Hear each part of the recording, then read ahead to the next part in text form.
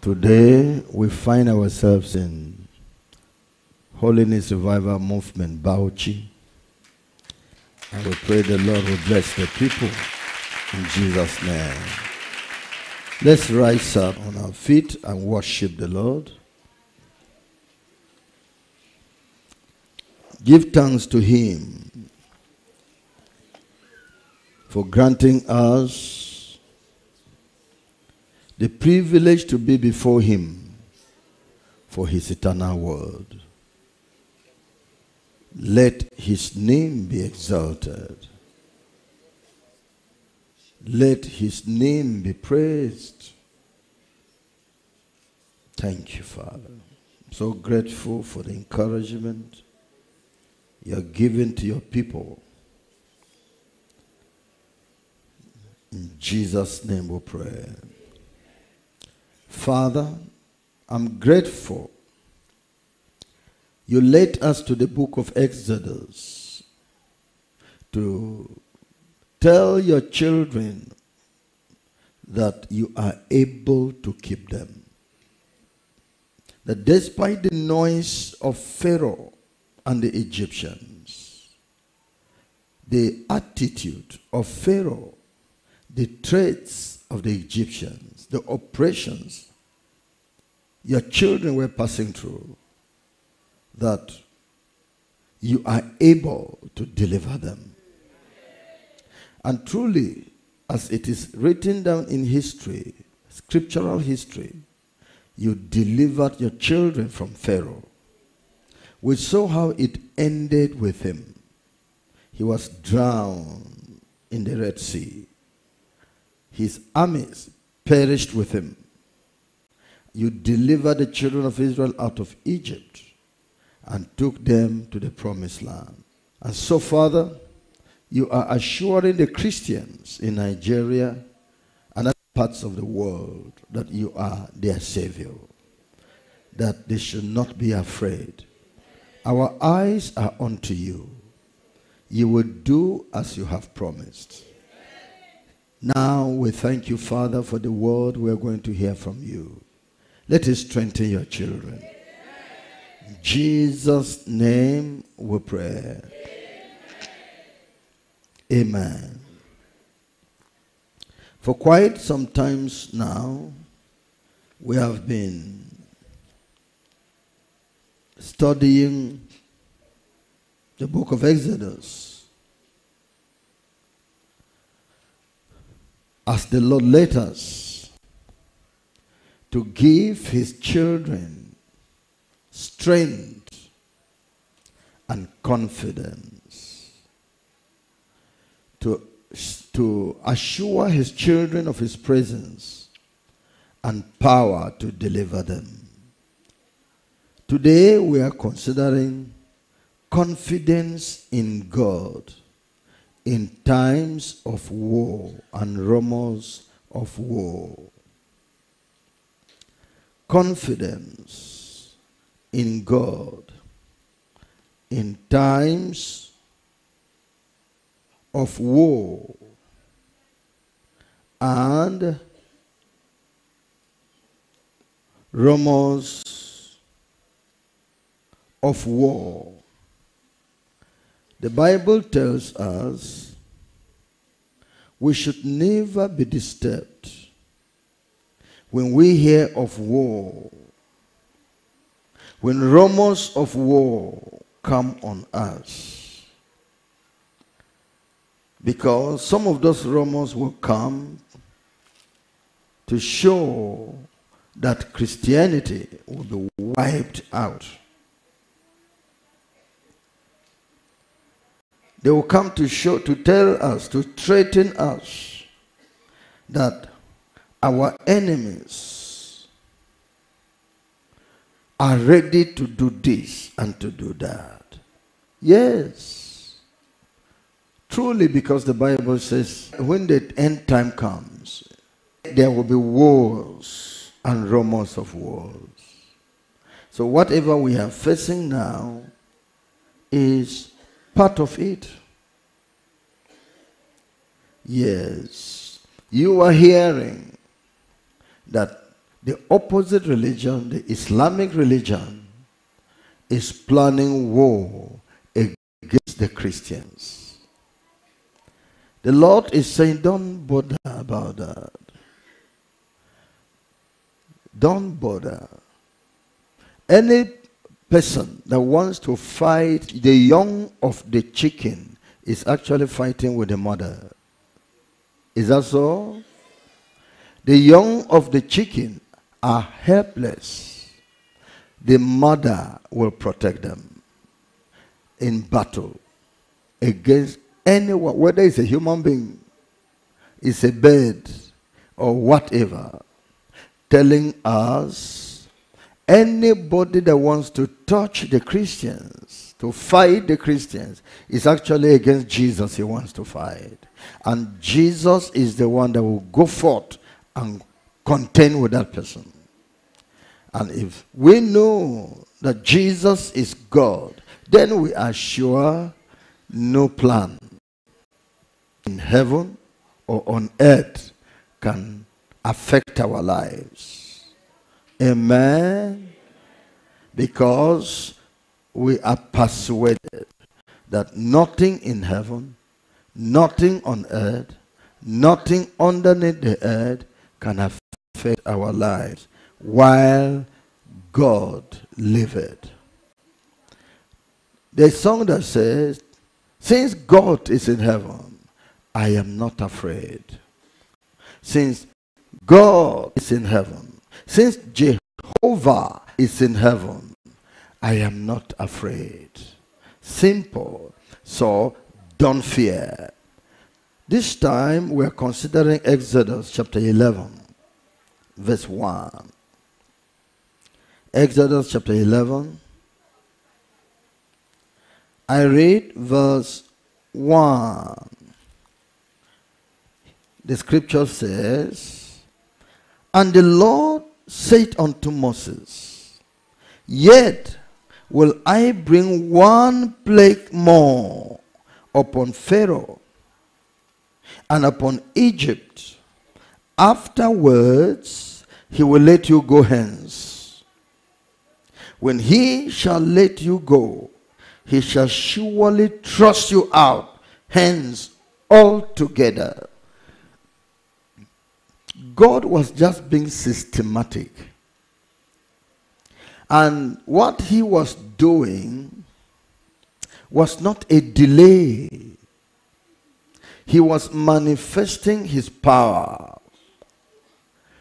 for the world and for generations to come so that they will know that God, He is the Lord.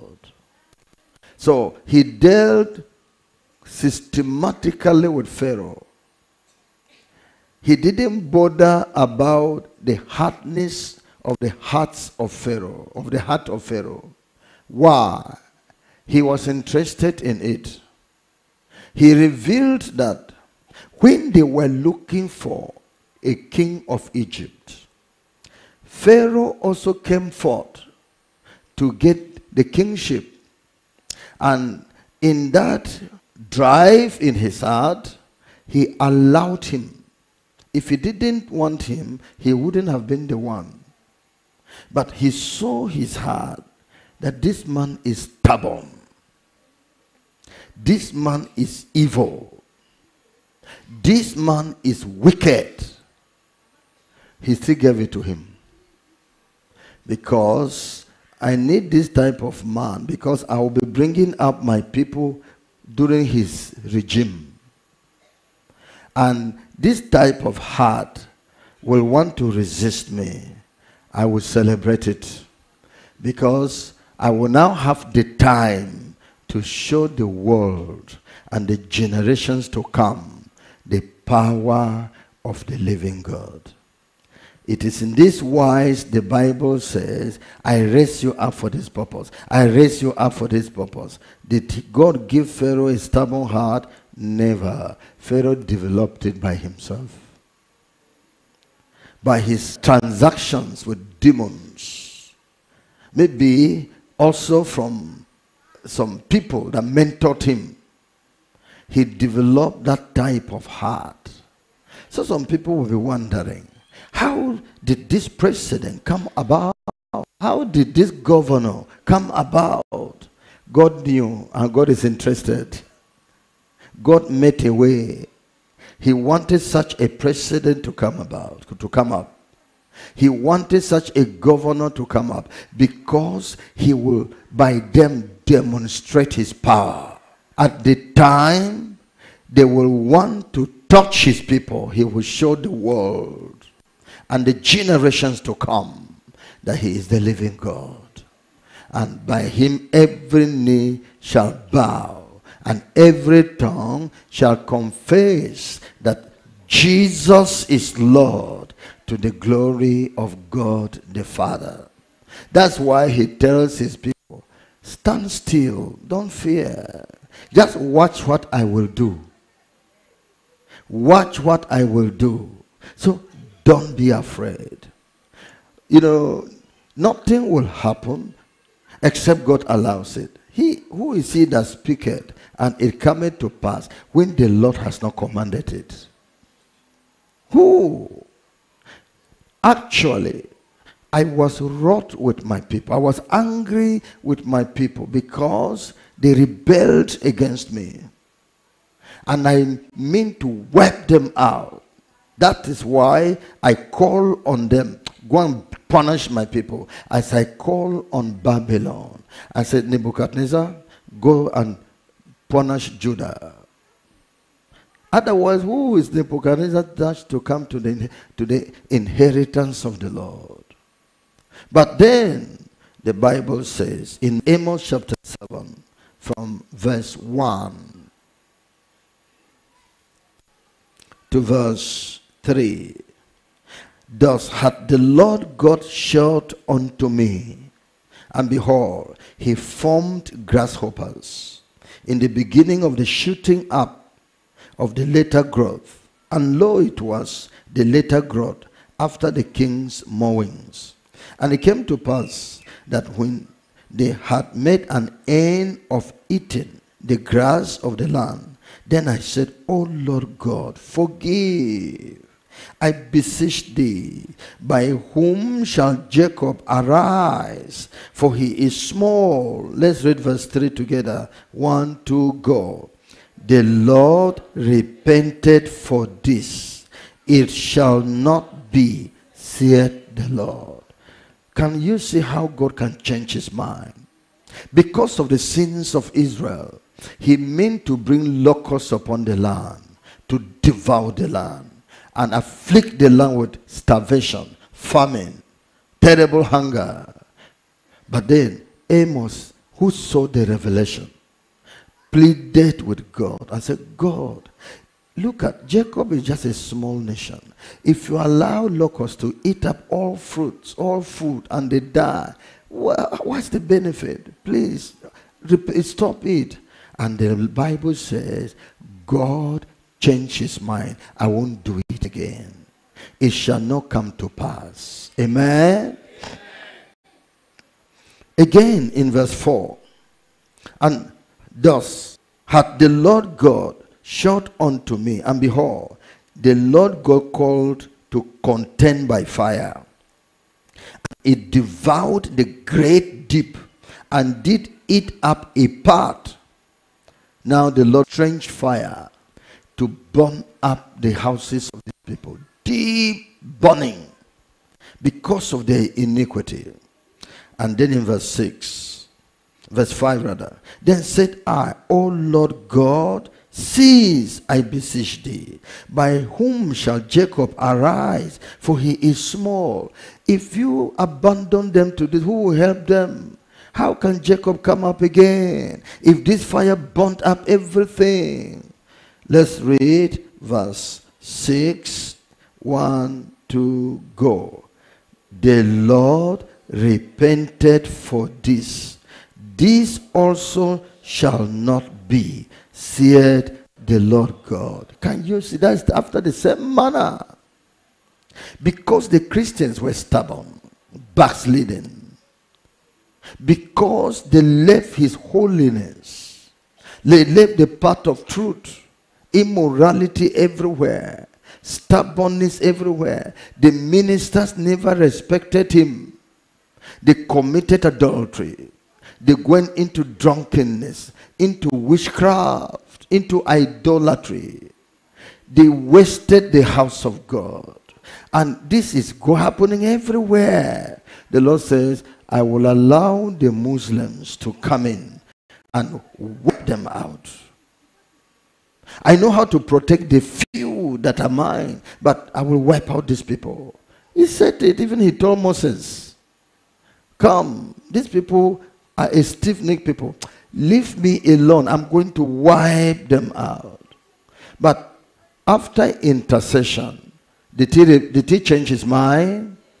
So God now said, Yes, what you are hearing the Muslims saying, the plan you are seeing them doing, I actually called them to come up because I wanted to punish the Christians. But since you people have cried to me, you have pleaded with me, I looked at the land again. I said, if I allow these people to do this as I had thought, the, the way they will do it, it will be terrible. Therefore, I have changed my mind. Give thanks to the Lord God Almighty. He has changed his mind. Hallelujah. He has changed his mind. So he said, this also shall not happen. That plan you are seeing going on shall not happen. All this rumor you're hearing shall not happen. That's why I said, no, go and be at peace. All this one they're going, I have stopped it, it will not happen. Uh, it will take a day now. If Satan has to come in a day to inaugurate it, I will lock up Satan in hell that inauguration shall not take place. Praise the Lord. This is like the day of the days of Noah when the Lord sent rain upon the earth. But eventually Noah came up and sacrificed to the Lord. The Lord smelled the sacrifice and said, Now I will no more destroy the earth by water. I am going to bring out a rainbow as a sign to you that I will no more destroy the earth with water. In the case of these ones, they are stubborn. The Lord would have signified in various ways. No, I've changed my mind. But they are saying they would do it on their own. Oh, you will do it on your own, then it is me and you. Then you, I will face you, I will face you in the I will face you in the battle and handle it. That's why he's telling you don't mind those people. I will handle them. Amen. Do you believe God? Do you believe in the Lord your God? Then be peaceful. Now let's see how it went here. Confidence in God. Confidence in God. In times of war and rumors of war. In Exodus chapter 11, verse 1, the Bible is telling us here. And the Lord said unto Moses, Yet will I bring one plague more upon Pharaoh and upon Egypt. Afterwards, he will let you go hence when he shall let you go, he shall surely trust you out hence altogether. Moses, I was the one delaying the matter. It's not Pharaoh. I was just being systematic. I was playing about the matter. I said, like a, when a cat gets hold of rat, it doesn't eat it immediately. Have you watched a cat like that? Uh, it will carry the, the rat, go to an empty place, and put the rat and be watching it, and allow the rat to run to any direction. Then, as it is running, it will go to that direction and wait for him. He will do a lot of drama before he starts eating the rat. So that's the drama that God is having with these people. It's about he now said, Now I want to finish the matter. Let's eat up the rat now. I've played enough. One plague more. And Pharaoh will set you free and remove his son from you forever. One plague more, and you will become master yourself. You will no more pastoral oppression in this land. One plague more, then the Muslims will know that you are the son of the living God. You are the daughters of the living God. I will display my power once more. Why are we saying this? It's because the Lord is the man of war. The Lord is his name. The Lord is the man of war. Yes. In the book of uh, Exodus, chapter 15. Exodus, chapter 15. I read verse 3 to verse 11. The Lord is a man of war. The Lord is his name. Pharaoh's chariots and his host had he cast into the sea.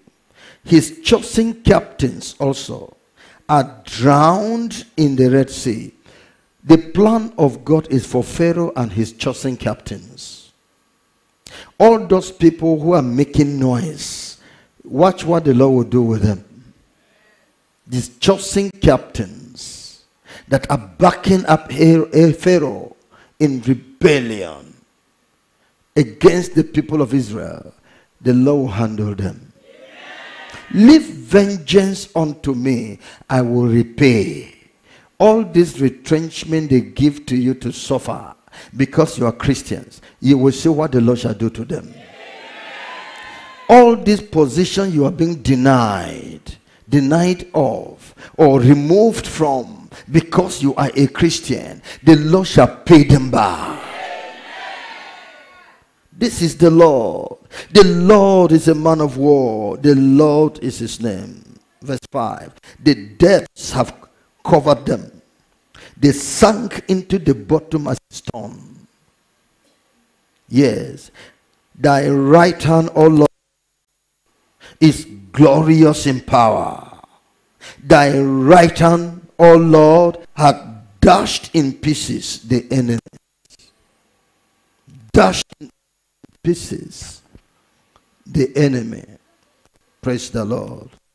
Thy right hand, O Lord, hath dashed in pieces the enemy, and in the greatness of thine excellency, thou hast overthrown them that rose up against thee.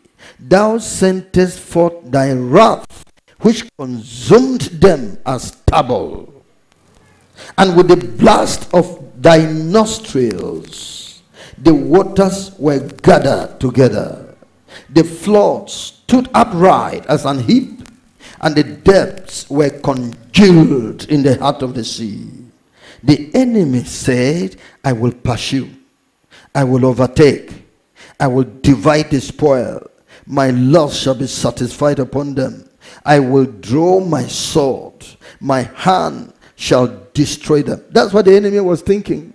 They are thinking, oh, in, in fact, it's like Jehovah's Witnesses that are going around and say, I, um, this house shall be my house. Because they don't believe that uh, uh, possession is in heaven. But to them, they shall inherit the earth. Many of them will go to the presidential palace and say, ah, this one, we shall, I, I will take it, I will take it. So these enemies are thinking so. We will possess this. We will possess that one. We will possess that one. God will clear them off. That is what the Lord is saying. My hand, my hand shall destroy them. Thou didst blow with thy wind, and the sea covered them they sang as lead in the mighty waters. This is God. Who is like unto thee, O Lord, among the gods? Who can do like this?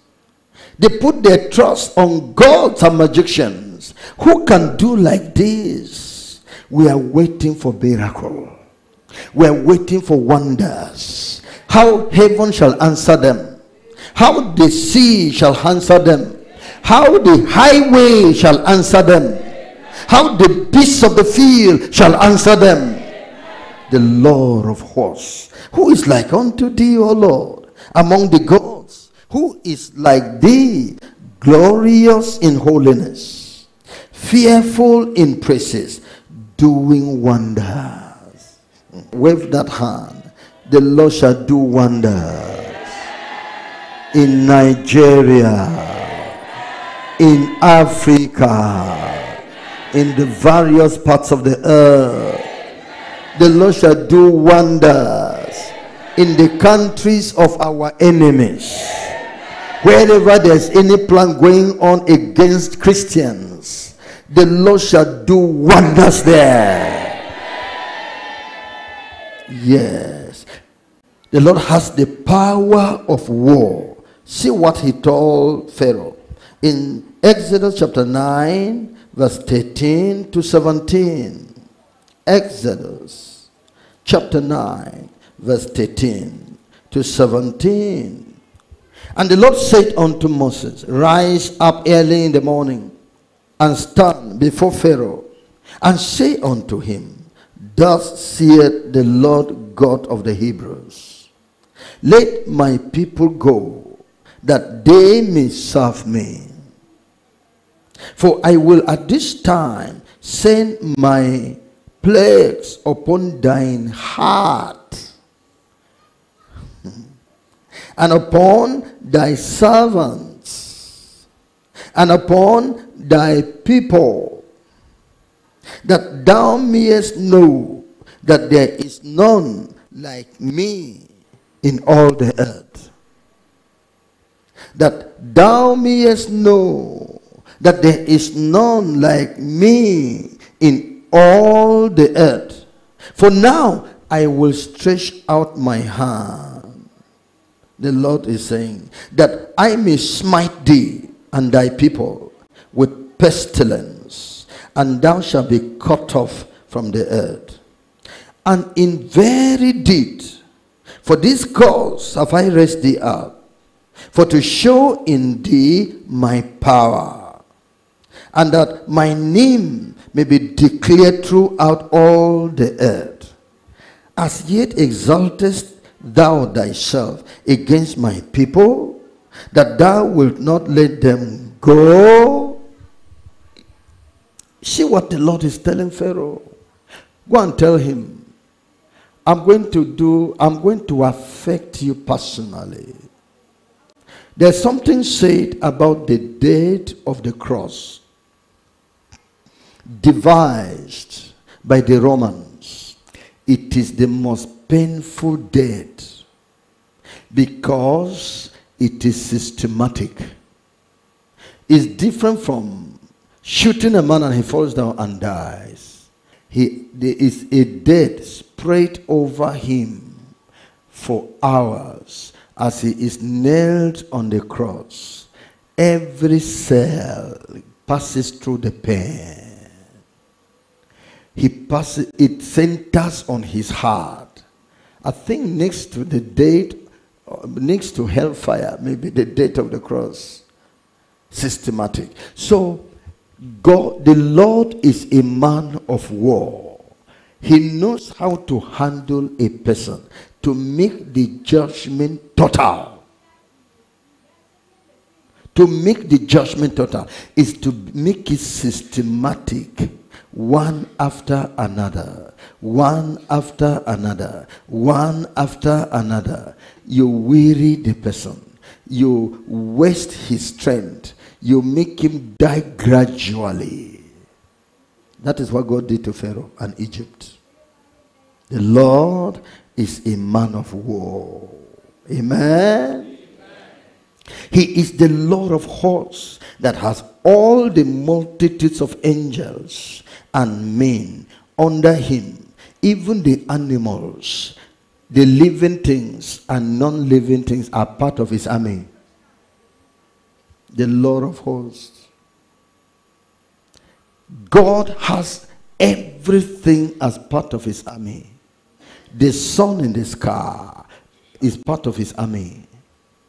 So, because by him all things were created, and for him all things consist.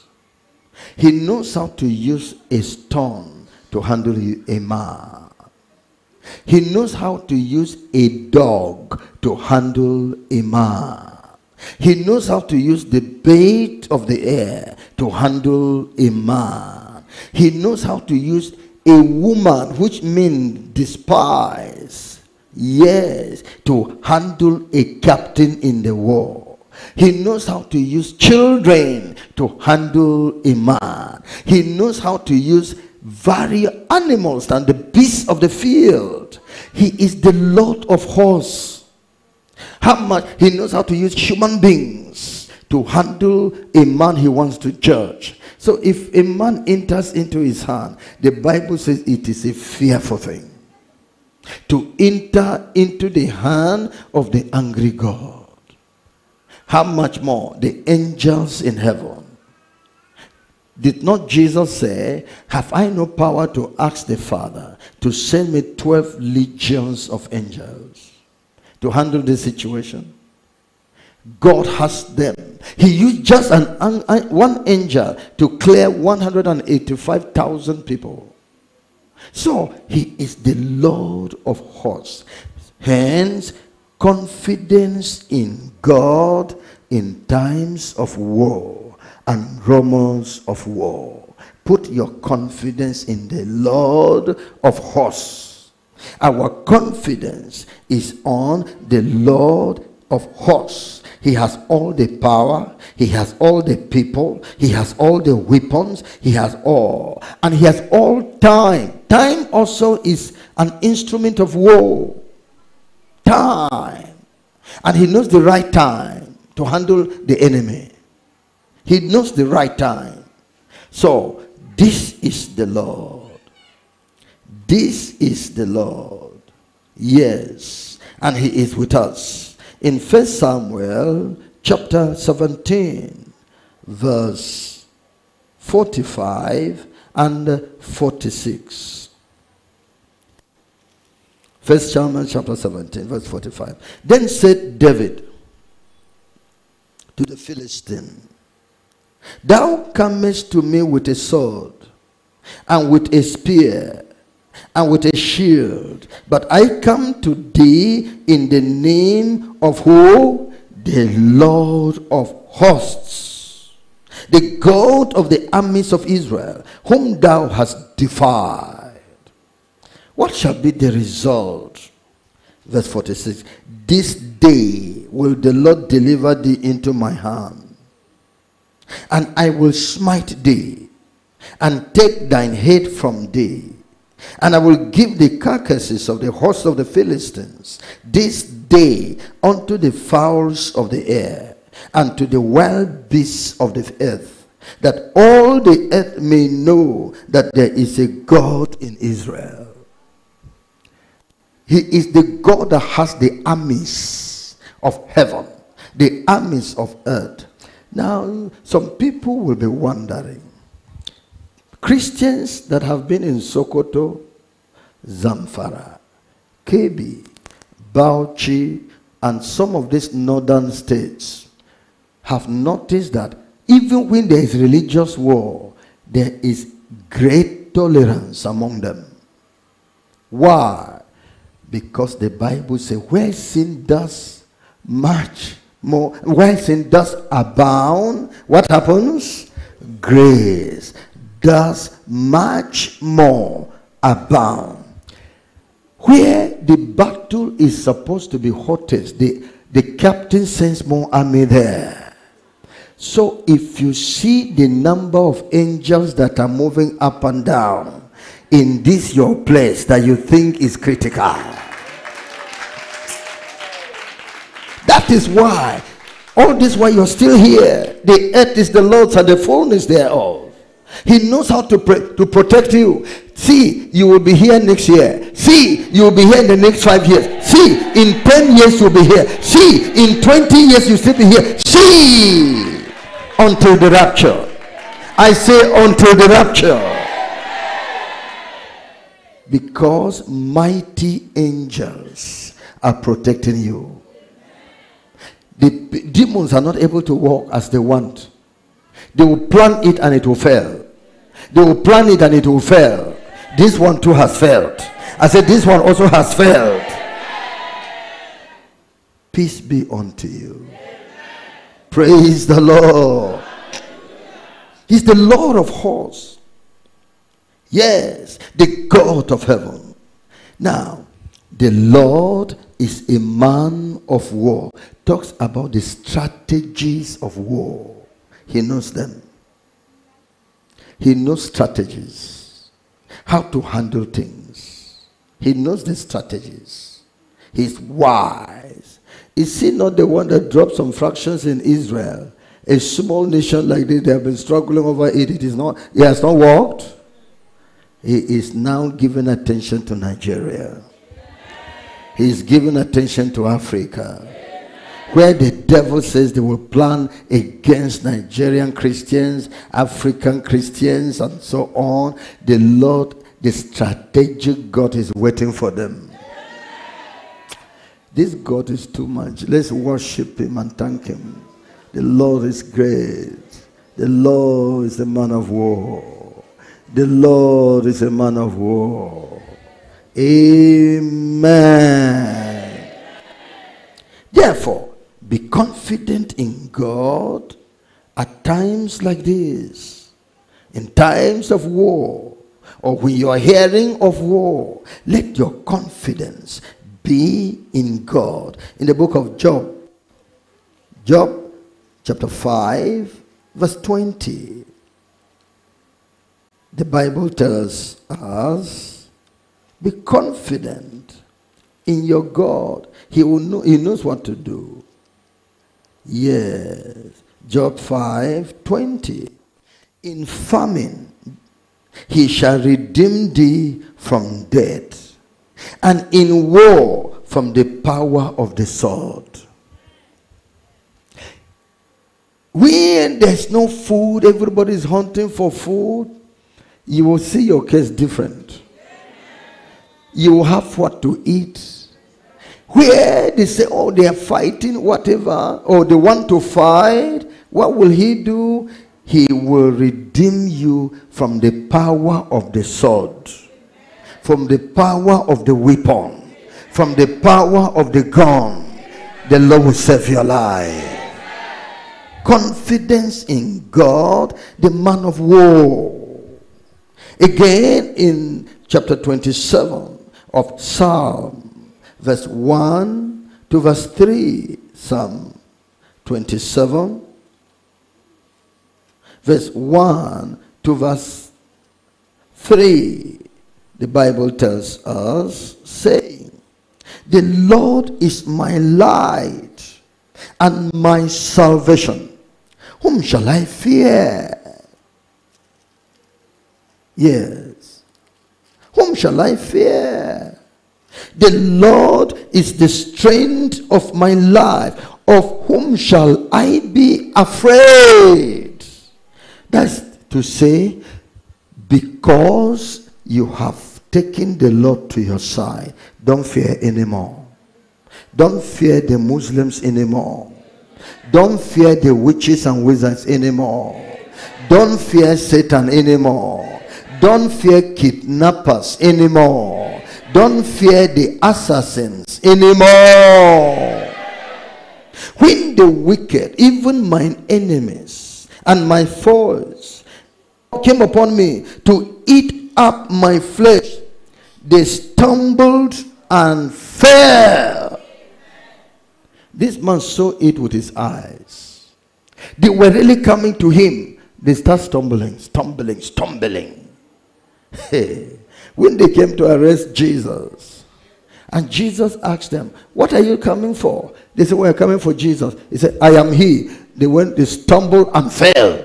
Did you remember that scripture? Or do you remember that scripture? They will stumble over your life. They will fall over your life. Door and host should encamp against me, my heart shall not fear. Pray to come to this point. Christians, pray and come to this point. Let your heart come to this point. It's not only rumor, but they actually gathered and that it is against you. Pray that your heart, this should be your prayer point. Have this heart. The psalmist got this heart. Though an host should encamp against me, my heart shall not fear. Though war should rise against me, in this will I be confident. Peace. War. They encamped against Elisha. His heart didn't fear because he said to his servant, They that be with us are more than they that be with them. The heart was not afraid. They actually came down to the city for Elisha. What, did he run away? He said, God, strike them with blindness. They won't see Elisha. So when he asked them, What are you looking for? Elisha. I said, It's not here. The man you are looking for is not, is not here. It's in Samaria. Is it not the king of Samaria you were looking for? You couldn't get him. That's why you think you will get me. Come, I will take you to the king of Samaria. Now let's go. They were following Elisha. But they came to that city for Elisha. The Lord shall strike them with blindness. Your wicked neighbors shall not see you. Amen. So that's what the psalmist is saying. Confidence in God, the man of war. In times of war and rumors of war. In Psalm 46, verse 1 to verse 11. Confidence. God is our refuge and strength a very present help in trouble.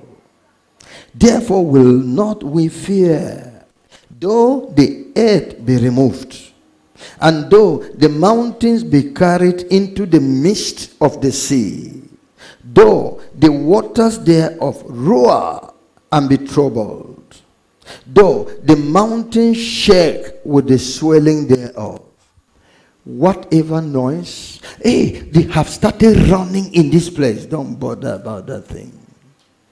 Stay with God. Stay. They have thrown something into the air. We had we saw a light in the air. They said the enemy threw it. Don't bother about those things. Stay with God. Let us even hear that the whole the country is shaking now. Be peaceful, my brother. It's God that says you should be peaceful. Ah, we who have entered aeroplane, praise the Lord. We the, the pilot comes to a troublous place where the aeroplane would start shaking, he will announce to us and say, Everybody be at peace. We're going to enter into a storm, but be peaceful. Have you heard like before? Praise. Praise the Lord. yes. Maybe this one will make some people want to enter aeroplane. There may be no storm in your own way. that is it. Though there is a shaking, be peaceful. The pilot in heaven said, You will pass through safely. That is what he's saying. He continues. There is a river the streams whereof shall make glad the city of God, the holy place of the tabernacles of the Most High. There is a place of righteousness, a place of peace. My people shall dwell in a peaceable habitation and in quiet uh, dwelling places and it says, God is in the midst of her. She shall not be moved. God shall help her, and that right early. Pick this thing because you think that God is late. The plans that are going on, the things you are hearing, where has God not started? Oh, you say God has not started, but to him he has started. But be informed, God will not be late. The salvation of God over this nation shall not come late. No. Isaac was not born late, although the delay was for 25 years to human beings. It was at the right time because God wanted, allowed the mistake that Sarah and Abraham would do so that human beings will learn from that to learn how to wait for God. When they had done their mistake, God waited for Ishmael to grow to an, to an age that he and his mother can trek and leave that house and move back to Egypt Be, before he would allow Isaac to be born.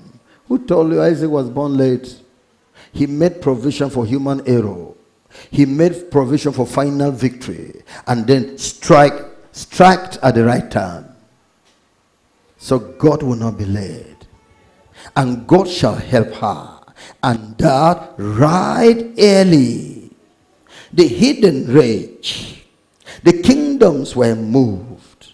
He uttered his voice. The earth melted. The Lord of hosts is with us. The God of hosts.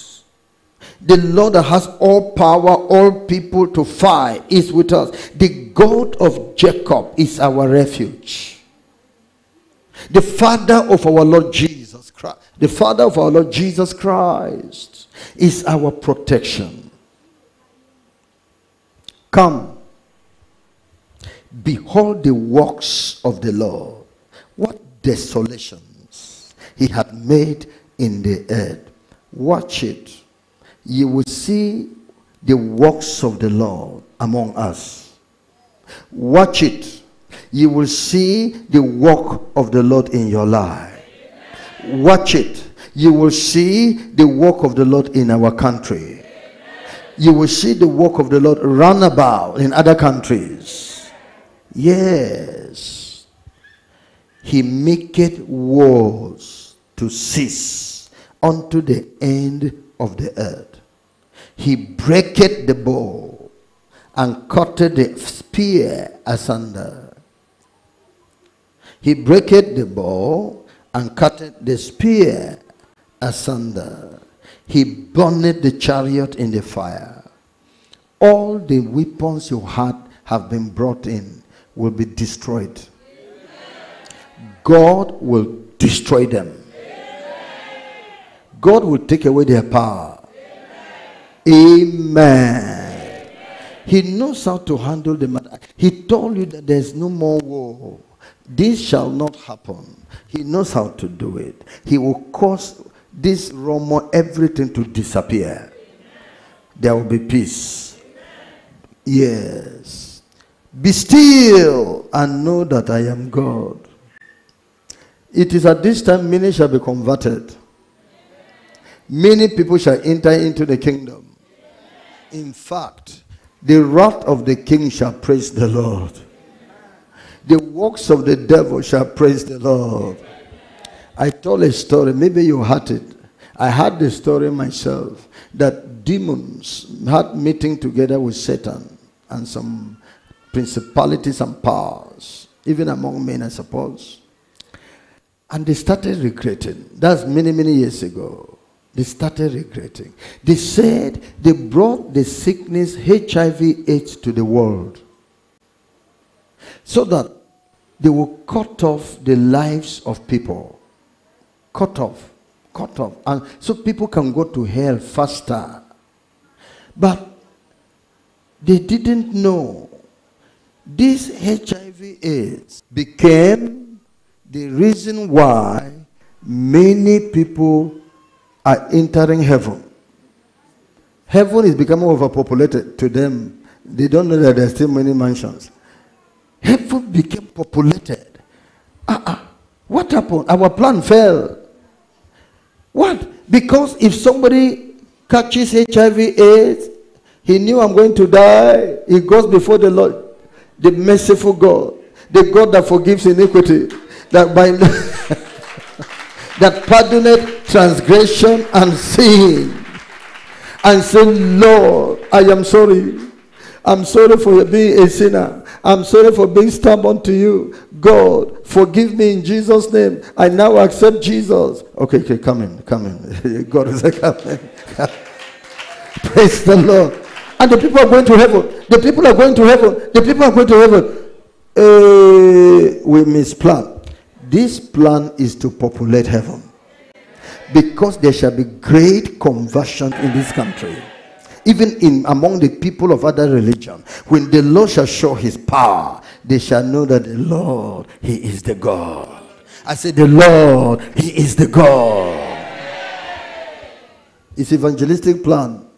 He that winneth souls is wise and god is a soul winner. Let's watch it. Be still and know that i am god i will be exalted among the heathen i will be exalted in the earth Verse 11, everybody, one, two, go. The Lord of hosts is with us. The God of Jacob is our refuge. Think about this. Hallelujah. In Isaiah chapter 41,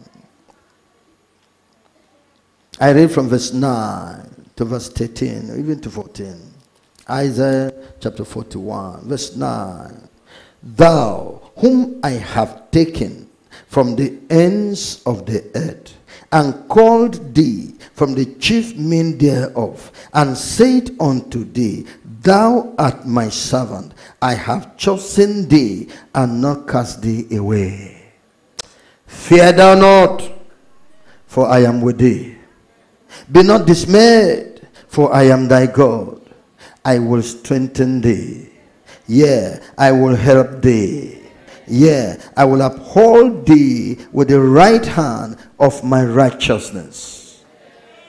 The Lord said, I made a choice to arrive at you and have just given you assignment and they say you will die. You agree? I just gave you assignment. I made a diligent choice to arrive at you.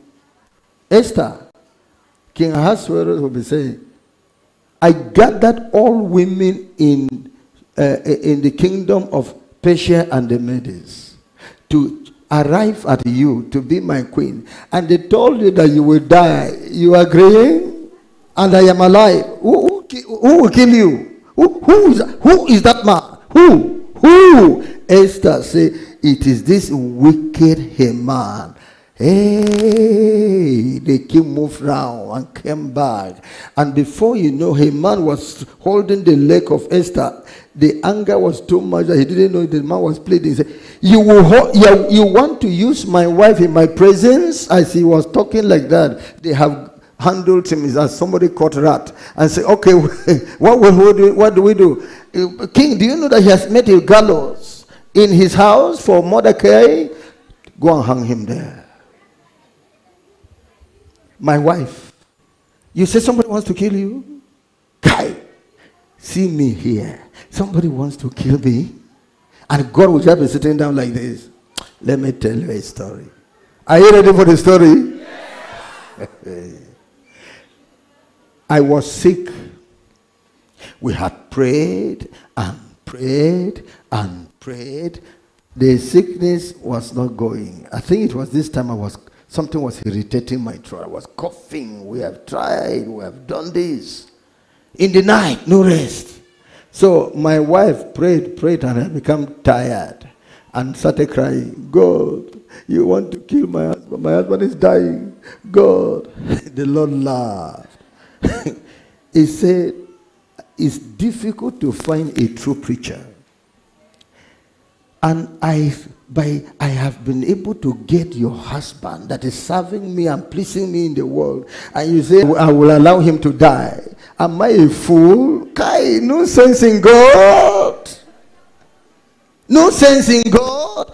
The Lord just got a movement holiness revival movement and has just announced the movement to Christianity and said, I am doing final work. And we have not done anything yet. Have we done anything yet?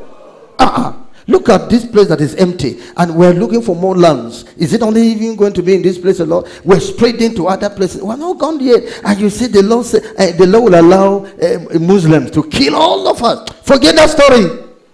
I say you should forget. I say you should forget it. That's why he said, Ah, thou, whom I have taken from the ends of the earth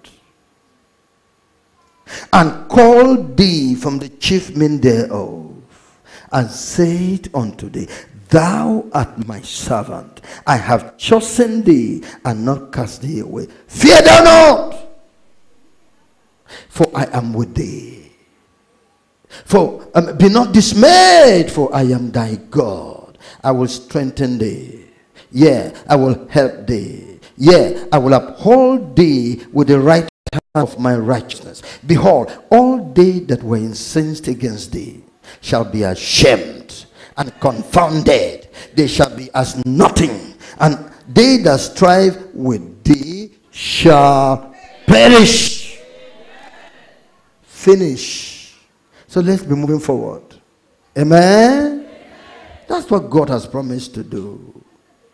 Ecclesiastes chapter 9 verse 18 is talking about the wisdom of God. Wisdom. The God, the Lord is a man of war. the God, the Lord is a man of wisdom. He will do everything in his wisdom. Chapter 9, verse 18. The Bible tells us Wisdom is better than weapons of war. Stop there. Wisdom. Oh, let a man gather all instruments of war. What is better than it? Wisdom. Who has wisdom? Who is wisdom? What does he promise us? Simple. So we are on top of those instruments. We're greater than those instruments. We're superior to those instruments. We have overcome all those instruments because of wisdom. And this God will, in wisdom, deliver his people. So, but let them receive warning. Let them receive warning. In the book of Exodus, Exodus chapter 11, verse 4 to 10. Exodus chapter 11, verse 4 to verse 10. And Moses said, Thus saith the Lord, about midnight will I go out into the midst of Egypt. About midnight will I go forth into the midst of Egypt. He was telling Pharaoh,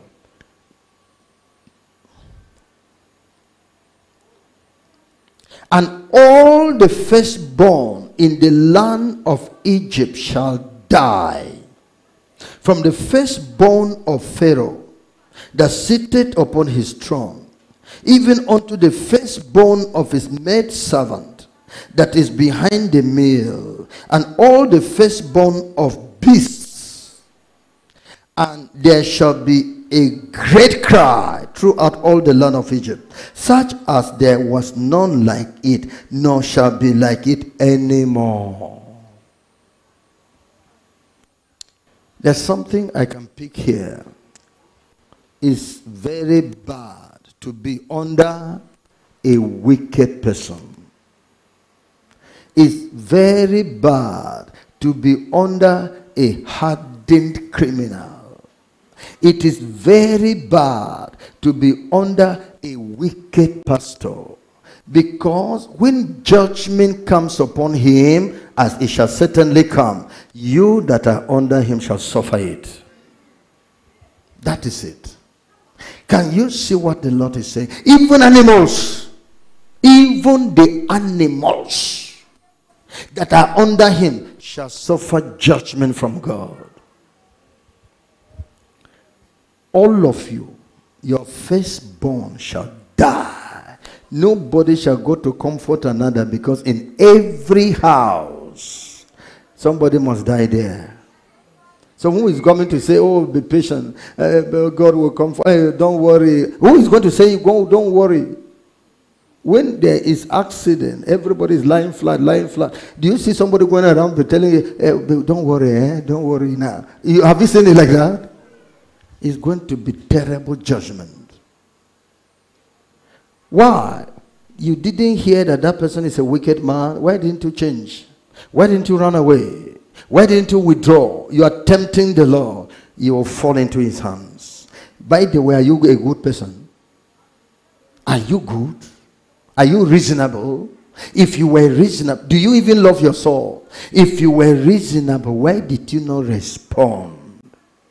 Why did you not show God that, no, I cannot be on the side of the wicked? Why did you not withdraw and run away and say, No, I don't want to be in trouble. I love my soul. As for me and my own house, what are we going to do? We shall serve the Lord. Why didn't you say so? You remain with Pharaoh with all this judgment. What is Pharaoh telling you? What is and you are seeing judgment. You see justice with your eye. You see corruption with your eye. You see wickedness with your eye. And you still remain, judgment will sweep you off.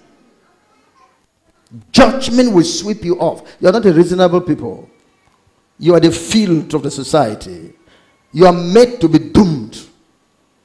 That's why you put yourself where judgment will meet with you and clear you off. See it now. And he said it again. Verse 4. And Moses said, Thus saith the Lord, Here is certainly, though hands join in hands, the wicked shall not go unpunished. Those sentence against the wicked of against evil is not speedily executed. Therefore, the sons of men have taken it upon themselves to do evil. Though the evil, the wicked does evil ten times and you do not see the judgment, seven times and the judgment does not come, surely the judgment shall come. It shall not be well with him that does evil. That is what the word of God says. And Moses said, Thus saith the Lord, about midnight will I go out into the midst of Egypt. No time again. No time again. All this while, why have you been waiting there for? No time again. The Lord will meet you at an hour you can't escape. Time you cannot escape. Judgment overtake you. It might be the judgment of death. No time to repent anymore. Because you're stubborn. You're hardened. And all the firstborn in the land of Egypt shall die from the firstborn of Pharaoh that sitteth upon his throne. That Pharaoh is busting. I have somebody to rule. My firstborn is already ruling with me. It will start from him.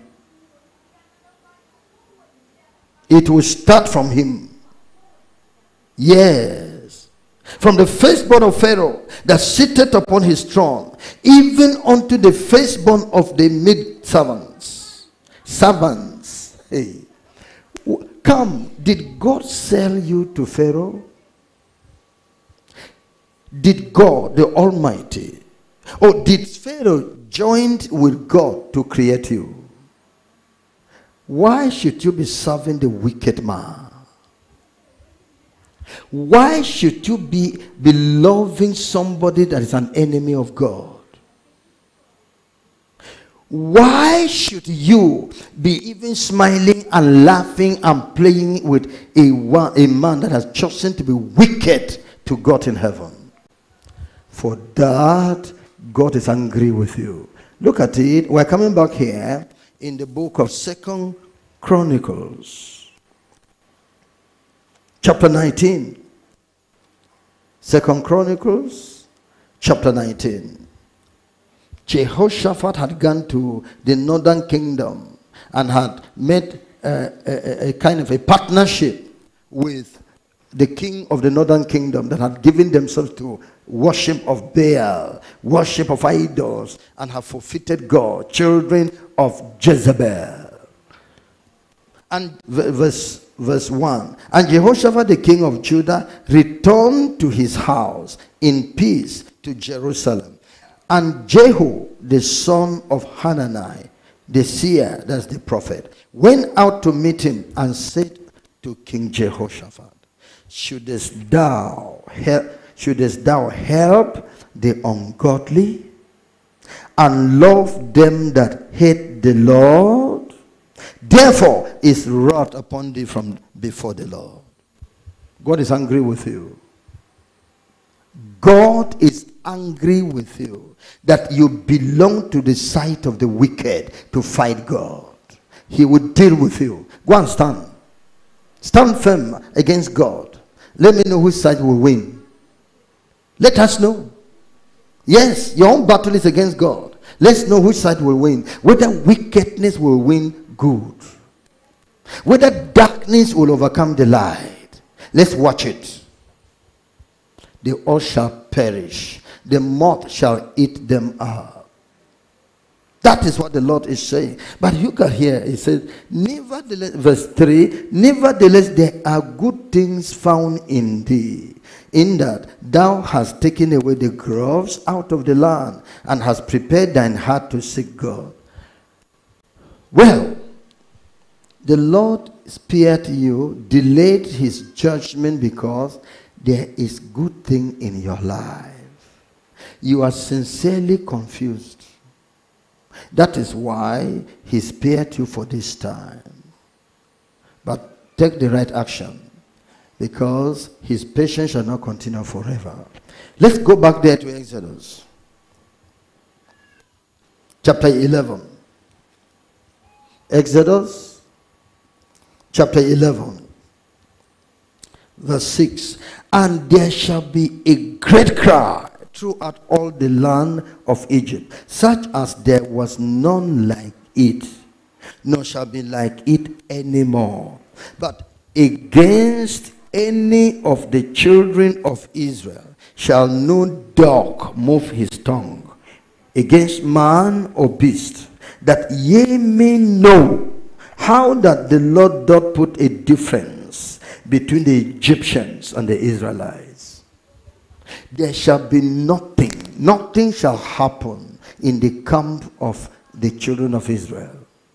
That you should know that God loves you above the Muslims. He loves them as natural creatures. But you specifically, you are serving Him. You recognize Jesus as the King of Kings, the Lord of Lords, the coming Savior, the one that died for us, and you have believed in His name you are protected. He will give you honor. He will give you promotion. He will give you attention. He will give you protection. For you are the apple of his eyes. That's what the Lord is saying.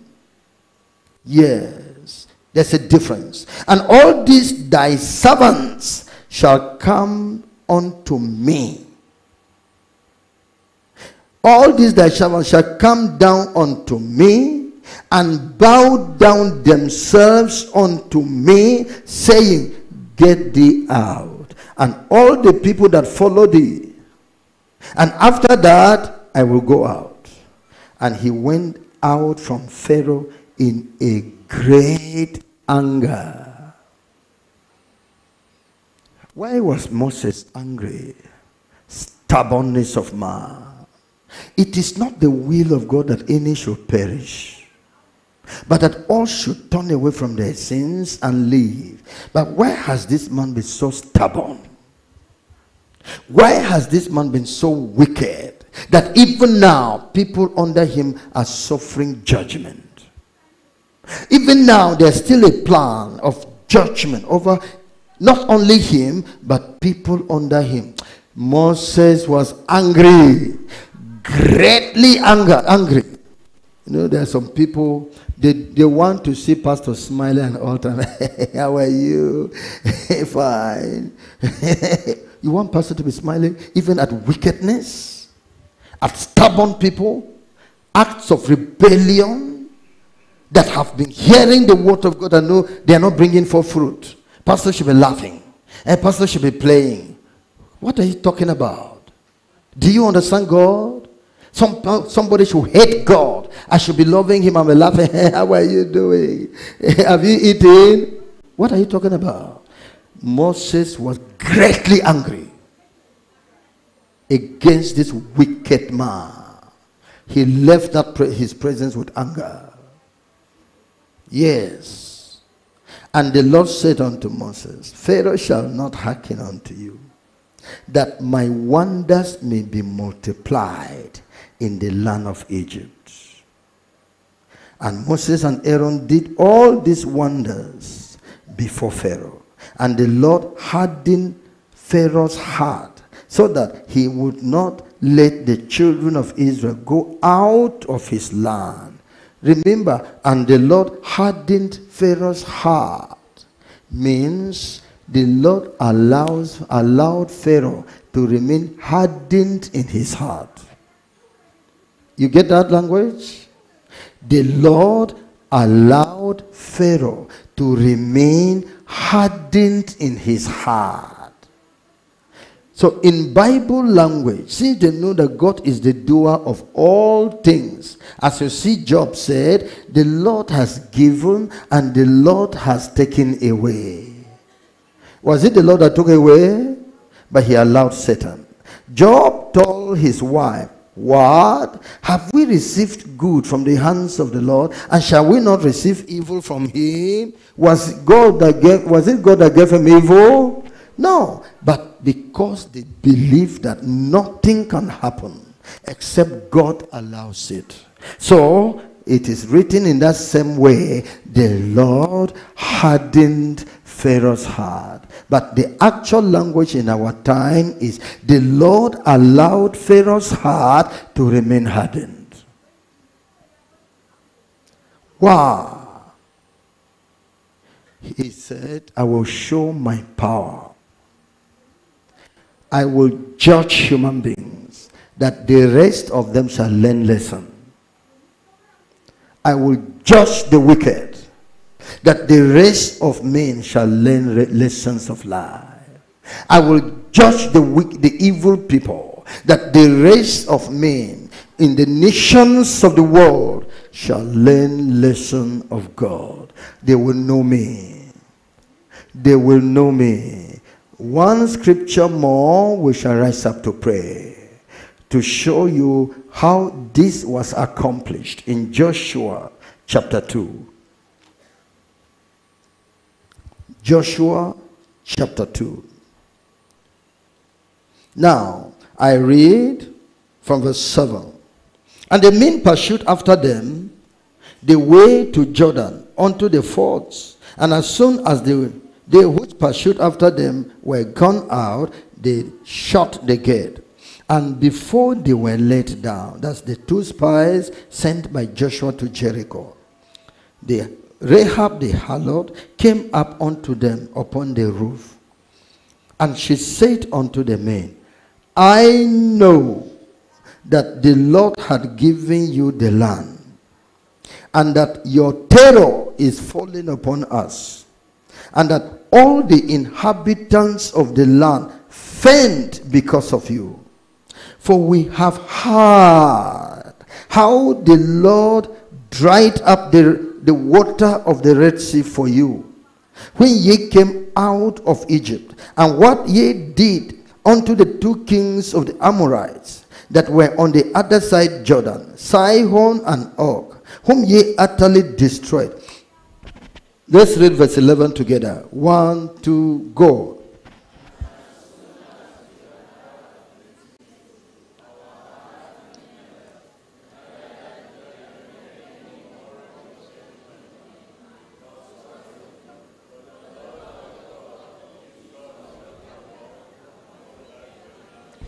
How did this one come? It was by what God did to Pharaoh. You see the advantage? You see the advantage of crisis? It will speak for our God in generations to come. Yes. For we have heard how the Lord dried up the water of the Red Sea for you when ye came out of Egypt, and what ye did unto the two kings of the Amorites that were on the other side Jordan, Sihon and Og, whom ye utterly destroyed. And as soon as we had heard this thing, our hearts did melt. Neither did there remain any more courage in any man because of you. For the Lord your God is God in heaven above and in earth beneath.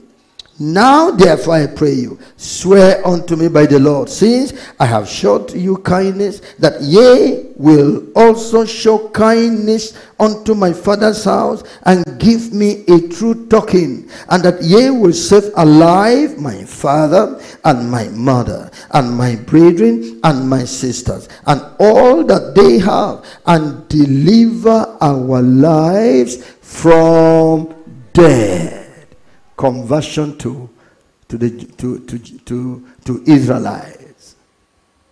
They become, they we will join you.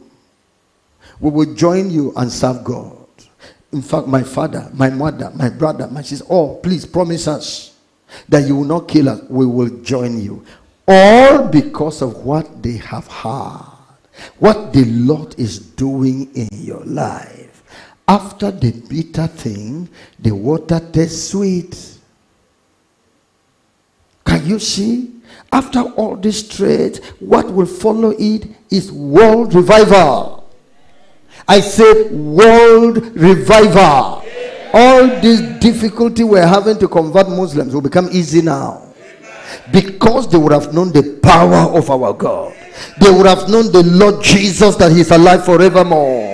He is Lord in heaven above. He is Lord on earth. He is Lord under the earth. And at, uh, uh, at the name of Jesus, every knee will must bow and every tongue shall confess that Jesus is Lord to the glory of God the Father. So bear this slight affliction. For I say unto you that the light affliction which you are passing through is not worthy to be compared with the glory that is that shall follow after. Great, great glory is coming upon Christianity in this nation. Great glory is coming upon Christianity in Africa.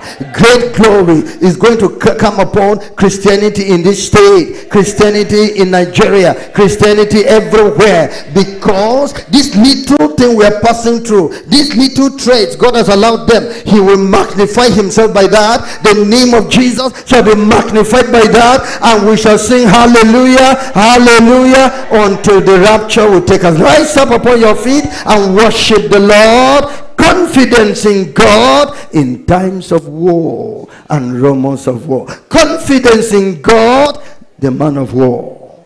Tell him you believe him. Tell him you trust him. Tell him you are sure nothing shall by any means hurt you. That he would deliver the believers. He would deliver his children. Worship him.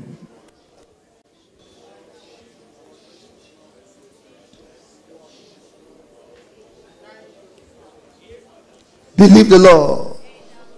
It shall be well. Believe in Jesus. It shall be well. Thank you, Jesus.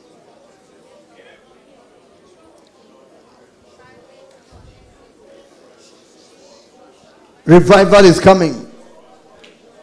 It's starting from Nigeria where Satan has given attention the Lord will root them out. Then we shall flow in revival. The ends of the earth shall enter into the revival that is beginning from Nigeria. Thank you, Lord. Thank you, Jesus. Worship.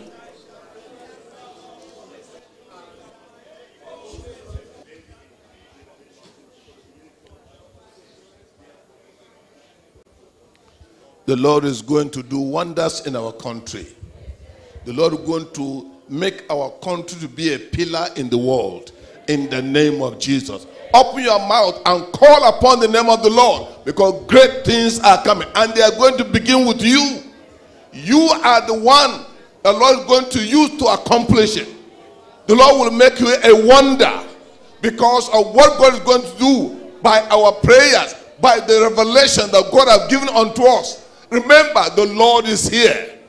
The Lord is here. The Lord is here. Don't be a weakling. Don't be fearful. Stand on your ground. Remain faithful to God. Standing firm for the thing of God. He will do wonders. The Lord will accomplish his plan for this world and for Nigeria in particular. Then you in particular.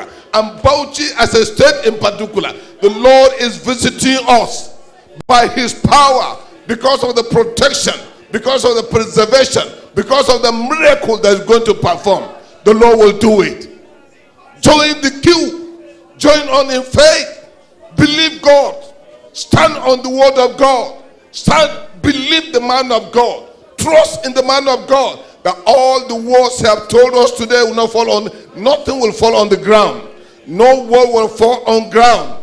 Open your mouth and pray and pray. Pray and praise God. This is the time to rejoice. This is the time to shout for victory. This is the time to stand for the glory of God. This is the time that the Lord is looking for. Let his children raise up, raise up, and declare allegiance to God and his word and his son Jesus Christ. Then he, the minister of God, that God have risen up at this time to lead us, to direct us. Praise his holy name. Glorify his holy name. Adore his holy name. In Jesus' name we pray. You are going to raise up your voice to commit the man of God in his, in his hand. Ask God that God, this man, keep him, preserve him from all forms of sickness and weaknesses of the flesh. Ask God to pour upon him more anointing, more grace, more power. This is the time to pray for the man of God. Open your mouth. Open your mouth. Open your mouth. Tell the Lord. Is the man of the world today whom God have chosen for the world. God have chosen him for the work. Those of us that were unjust, you know what God have said about him. You know what God is planning for him. You know the mantle God have granted unto him. For long, nobody had that mantle. For long, nobody had that opportunity. But God has given us at this time.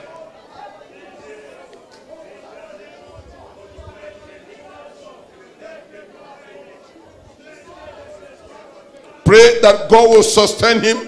Pray that God will empower him. Pray that God will increase him. In Jesus' name we pray. Let's pray for our mommy leader that the grace of God will rest upon him, upon her. That the hand of God will continue to uphold her. That the grace of God will work miracles, wonders. She will always see. She will always hear. She will always feel as God directs him. Open your mouth and pray for her. We need her around.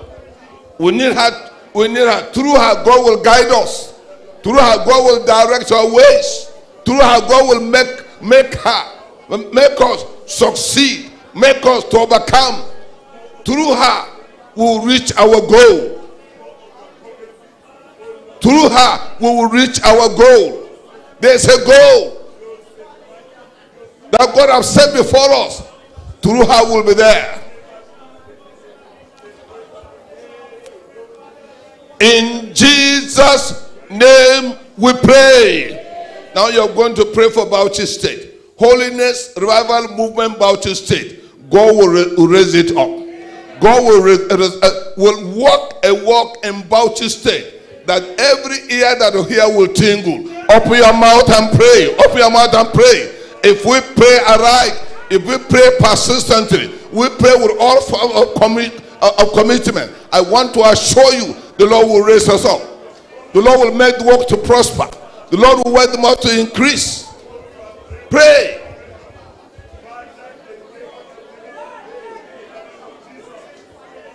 It will be done.